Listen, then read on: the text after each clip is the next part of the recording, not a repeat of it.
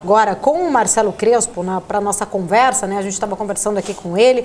Vamos voltar aqui para a gente falar um pouco mais sobre as questões jurídicas e entender exatamente algumas questões pontuais.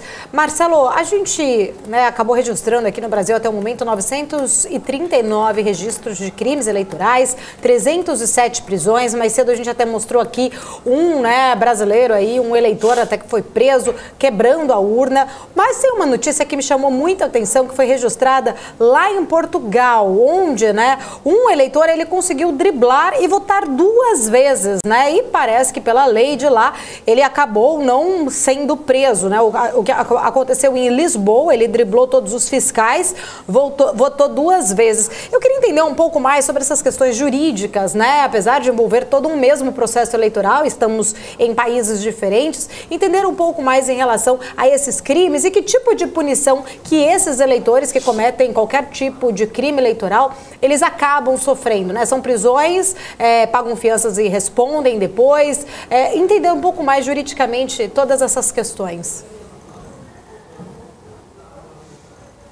Eu estava mutado, desculpa. Isso, eu ia falar agora, é, acho que você estava mutado. Agora sim, vamos lá. vamos, vamos lá.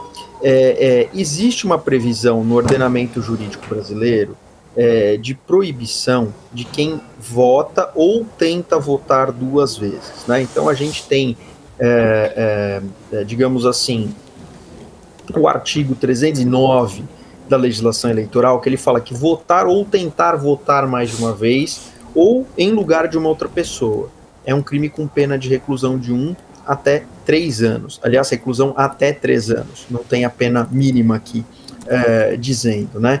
Então, nesse caso, acontecido isso no Brasil, como eu falei, seria o caso de o Ministério Público Eleitoral promover uma denúncia e essa pessoa ser submetida a um processo criminal eleitoral aqui no Brasil.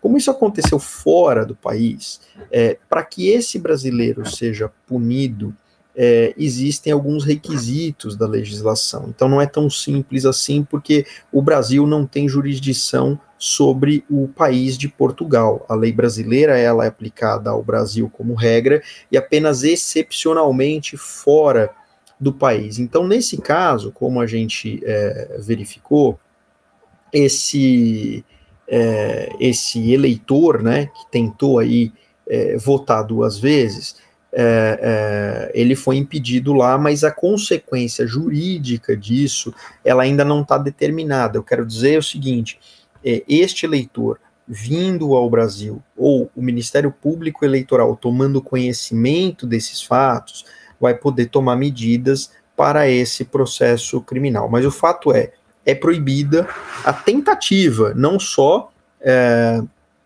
a votação, mas a tentativa de votar duas vezes, como eu mencionei, com uma pena de até três anos de reclusão.